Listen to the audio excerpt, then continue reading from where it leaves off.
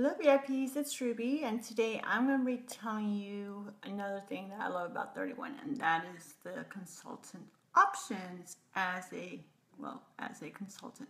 So the first one is just for fun. These are the consultants that basically they just want to do the minimum and maybe do a party once or twice a month and they're good with that, which I love and I know a lot of our consultants, they do it with other careers as well, and so they basically do it just for fun or get out of the house, whatever the, whatever the case may be, they do it for themselves.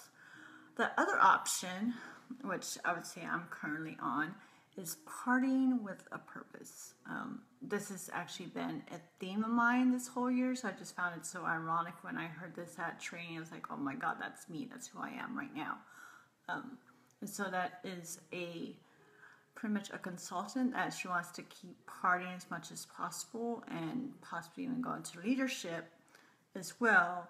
But essentially, they're partying with a purpose. They know what their why is and or what their mission is, which I've been calling my why, more of a mission statement as well.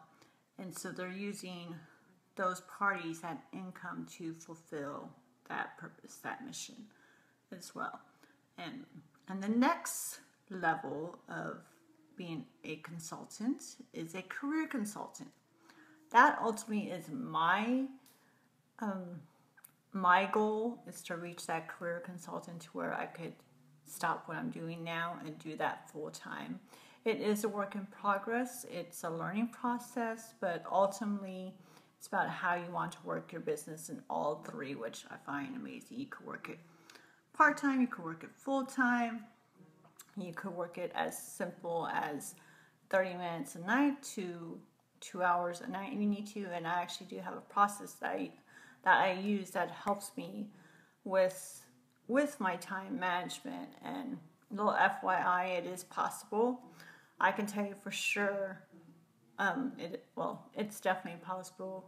Back in May, I was studying for the special ed exam, special edu- education exam and frankly, I'm still shocked to this day as well because I was I'm working full time as a special education instructional assistant.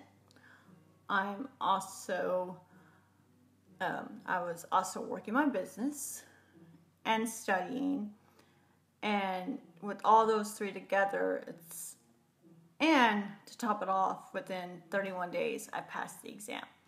So that was definitely a shock for me knowing, oh my God, I can do this as well.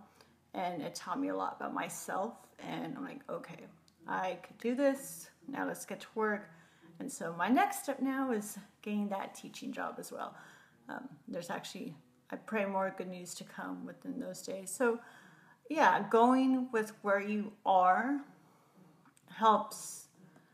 Everyone helps to fulfill those gaps or holes or whatever you may need. So if you know you want something just for fun, go ahead and do it for fun. If you know you want to just have parties and keep partying with a purpose, you know your mission, it could be something as simple uh, as well. I want to I want to have an income to help us go on vacation. I want to remodel a house. Something as simple as that.